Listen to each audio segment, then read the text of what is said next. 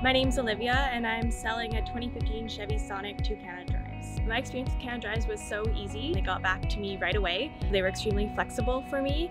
Um, I also didn't have to do a bunch of car showings beforehand because they just let me sell it on the spot.